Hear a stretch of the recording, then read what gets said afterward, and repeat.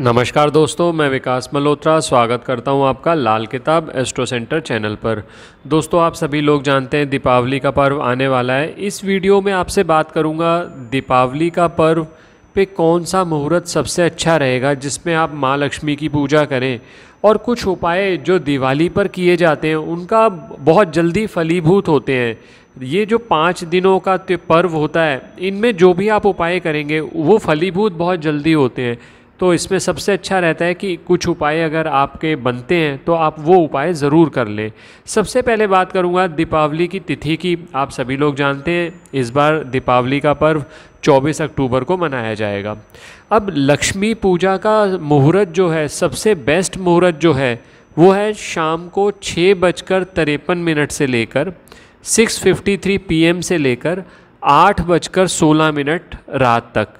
ये अप्रॉक्सीमेटली एक घंटा तेईस मिनट का मुहूर्त रहेगा। ये सबसे अच्छा मुहूर्त रहेगा, लक्ष्मी पूजा मुहूर्त है, भी कहते हैं इसको। इस समय पर अगर आप पूजा करते हैं और इसमें वृषभ काल भी आपको मिल जाएगा तो सबसे बेस्ट तरीका रहेगा कि शाम को अक्टूबर 24 को आप जो पूजा करें, वो शाम छः बजकर तिरपन मिनट से लेकर आठ बजकर सोलह मिनट तक कर लें।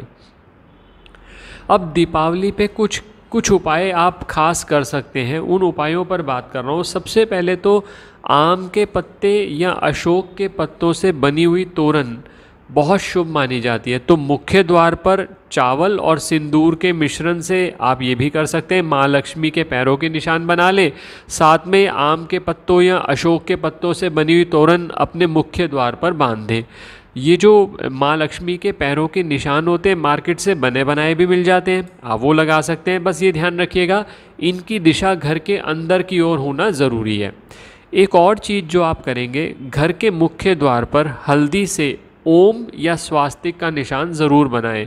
माँ लक्ष्मी के लिए धन आगमन के लिए भी बनेगा शुभ भी होगा और सबसे बड़ी बात यह है कि हल्दी से बनाएँगे बृहस्पति का कहीं ना कहीं आपका संयोग रहेगा तो आपको इसका बहुत लाभ रहेगा। अब अगर धन संबंधी बहुत परेशानियाँ आ रही हैं तो दिवाली वाले दिन हनुमान जी का ये उपाय करेंगे तो बहुत अच्छा इसका रिज़ल्ट देखा गया है। किसी भी पीपल के वृक्ष का एक पत्ता तोड़ के ले आए दिवाली वाले दिन ही लाएँगे। सोमवार का दिन है, बहुत आसानी से आप पीपल के वृक्ष का पत्ता तोड़ के ला सकते हैं। उस पत्ते पर कुमकुम या चंदन से श्री राम लिखें और इसके बाद इस पत्ते पर मिठाई रखें और हनुमान जी को अर्पित करें। ये आप घर पर भी कर सकते हैं और अगर मंदिर में करते हैं तो ज़्यादा अच्छा रहता है। दीपावली का दिन बहुत ख़ास माना जाता है। अगर आपको किसी तरह की नज़र लगती है, नज़र दोष है, या आपके परिवार वालों के ऊपर कहीं स्वास्थ्य ठीक नहीं रहता तो आप दीपावली पूजन कर लीजिए। जैसा कि मैंने मुहूर्त में बताया, दीपावली पूजन करने के बाद कोई भी एक व्यक्ति आपके घर का, चाहे वो मुख्य जो मेंबर है, वो भी कर सकता है। काले तिल अपने हाथ में ले ले। और घर के सभी सदस्यों के सिर से सात बार एंटी क्लॉकवाइज घुमाकर घर से बाहर फेंक दे। उसके बाद घर का कोई और दूसरा सदस्य उस मुखिया के लिए ये क्रिया कर सकता है। इससे अगर आपके धन की हानि होती है किसी की नज़र लगने की वजह से या नज़र दोष है तो स्वास्थ्य की प्रॉब्लम रहती है तो वो प्रॉब्लम भी ख़त्म हो जाती है। अब बहुत से व्यक्ति ऐसे होते हैं कि वो कहते हैं कि हमने लाख प्रयास कर लिए लेकिन हमें काम में सफलता नहीं मिलती, किस्मत कहीं ना कहीं साथ नहीं देती, पैसों की भी बहुत परेशानी है, काम बन नहीं पा रहा। तो दीपावली पे जब आप माँ लक्ष्मी का पूजन करें तो माँ लक्ष्मी को चने की कच्ची दाल अर्पित करें और उसके बाद वो उठाकर कलेक्ट करके उसको पीपल के वृक्ष पर अर्पित कर दें। इससे भी भाग्य का साथ आपको मिलेगा। और दीपावली के दिन आप एक उपाय और कर सकते हैं। पाँच पीपल के पत्तों को तोड़कर ले आइए, अच्छे से उन्हें साफ़ कर लीजिए, माँ लक्ष्मी का पूजन कर लीजिए और उन पत्तों पर पनीर या दूध से बना हुआ कोई मिष्ठान रखकर उसे पीपल के वृक्ष पर अर्पित कर दें। और अपनी इच्छा, जो भी आप मनोकामना आपके मन में है, वो भी आप कहें तो वो कार्य भी जल्दी पूरा होता है।